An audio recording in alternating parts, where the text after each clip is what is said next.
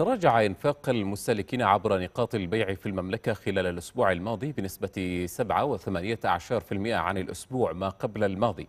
والمنتهي في الثالث عشر من نوفمبر بفارق بلغ 714 مليون ريال و400 ألف حيث بلغ الإنفاق نحو 8 مليارات و46 مليون ريال. وبلغ الإنفاق في قطاع الأطعمة والمشروبات مليار و22 مليون ريال. تليها المطاعم والمقاهي. بمبيعات تجاوزت مليار و200 مليون ريال وتراجع الإنفاق في العاصمة الرياض 5 و18% ليبلغ مليارين و740 مليون ريال.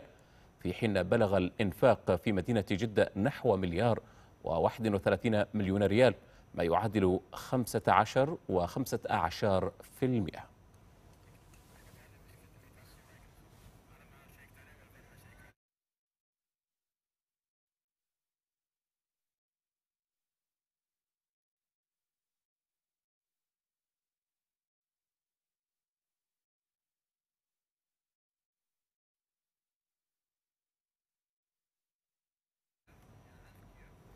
نتحدث عن هذه الإحصائية مع ضيفنا المحلل الاقتصادي الدكتور محمد القحطاني. أهلا بك دكتور محمد مساء الخير. برأيك يعني لماذا تراجع هذا الإنفاق للمستهلكين خلال الأسبوع الماضي؟ حياك الله أخوي أحمد والأخوة المشاهدين. بلا شك طبعا نعم. يعني هذه مسألة طبيعية جدا في عالم الاقتصاد أن يكون هناك انخفاض. ولا ننسى أول حاجة أن ننوه على دقة البيانات اللي يصدرها البنك المركزي. يعني نتكلم بشكل أسبوعي. وهذا دليل واضح حقيقة على يعني الرقابة اللصيقة حول مستوى الإنفاق. وأنت تتكلم عن نقاط البيع وهناك أيضا أصبح هناك مع رؤية المملكة 2030 توجه للمستهلكين في إنفاق في امور أخرى قد تكون استثمارية، مشاريع صغيرة يعني أخرى يعني فهذا يعني دليل واضح على أن أصبح هناك وعي في عملية الإنفاق وأنا أشوف مبلغ يعني لا يزال حقيقة مبشر وعودة الاقتصاد. نحن نتكلم عن فترة أسبوع يمكن ما قبل حتى الرواتب وكذا فهذه حالة طبيعية. لكن ممكن أن تقاس في نهاية العام أخوي أحمد حتى نستطيع أن نعطي البيانات بشكل أدق. جميل، دكتور بالنظر إلى يعني الأشهر الماضية شهرين أو ثلاثة نشهد هذا الانخفاض أيضا في الانفاق قبل الرواتب بأسبوع، هل يعتبر يعني هذا مؤشر إنه قبل الرواتب حيكون هذا الانخفاض دائما؟ يعني أنا أتوقع ذلك خصوصا يعني إن كان الاقتصاد الآن راجع إلى حالة تعافي يمكن ممكن مع العام القادم عندما يعني تنجلي جائحة كورونا بشكل كبير يعني ممكن أن نجد هناك يعني توجه للمنفقين خصوصا من يمتلك يعني رؤوس الأموال أن تكون هناك يعني إنفاق في أمور أخرى في مشاريع ثانية ولكن نعم قبل الرواتب عادة لأن حقيقة يمكن المحرك الأساسي للإنفاق الاستهلاكي هي الرواتب سواء كان في القطاع العام أو القطاع الخاص.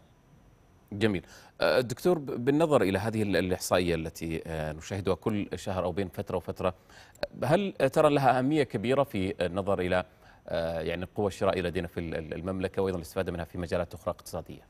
ممتاز. سؤال جيد أخوي أحمد. كما نوهت في بداية حديثي أن مثل هذه الإحصاءات حقيقة ستعطي المتابعين والمراقبين والمحللين نظرة أكثر لأن حقيقة لابد أن تكون هذه العلاقة لصيقة بين يعني معرفة حجم الإنفاق بشكل دقيق كما هو حادث الآن وأيضا نحاول أن يكون هناك أيضا مغريات أكثر وتوجيه للإنفاق الاستهلاكي. لن لا تزال هناك حقيقة حسابات جارية كبيرة جدا خصوصا للنساء. يعني هناك من يقدرها بأكثر من 50 مليار كحساب جاري موجود في البنوك. فبالتالي ممكن يتغير التوجه لاستمالة هذا يعني اللي هو عنصر النساء. في تفعيل عملية الإنفاق في أمور تهم الجانب النسائي. جميل. فيما يتعلق أيضا دكتور يعني هل ممكن نشهد انعكاس في هذه النسبة مستقبلا؟ أو ما الذي يمكن أن يقدم من قبل يعني المعنيين في هذا الجانب ل لا نشهد هذا الانخفاض في النسبة تدريجيا بداية الشهر حتى نهاية الشهر؟ التعامل مع المستهلكين أخوي أحمد يعني هو كما الحال عند لعازف البيانو يعني لازم أنك تغير حقيقة في يعني نمط أو تشجيع الإنفاق في أمور أخرى.